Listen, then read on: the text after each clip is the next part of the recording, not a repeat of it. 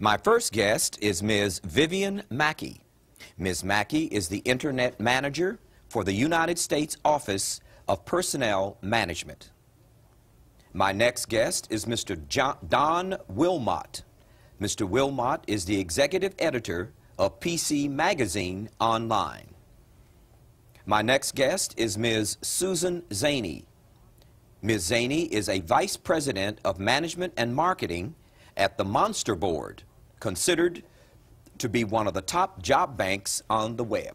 In 1994, if you had enough computer savvy to surf the internet for a job, the pool of available employment was limited to about 15,000 openings nationwide. Today, that number has exploded to over a half million in the job banks alone. In case you thought you heard me wrong, I'll repeat that statistic.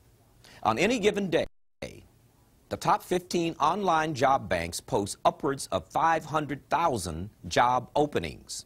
Now, before you race to your computer, stay tuned for the next half hour, and my guests on this program will give you the hows, whens, whys, and the wheres of finding a job on the internet.